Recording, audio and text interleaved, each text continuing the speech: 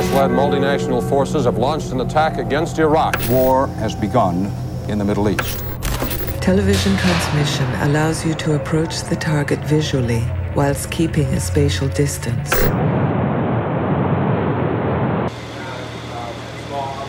Jones, I'm 24 from New Orleans, Louisiana.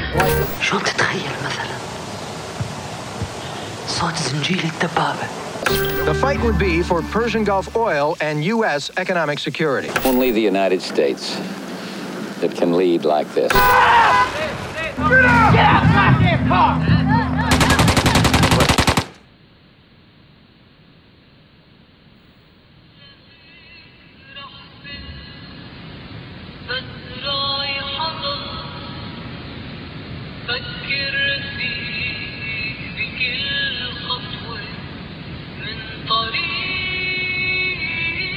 George Bush wants to go and fight and kill Iraqi people, then let him send his son first.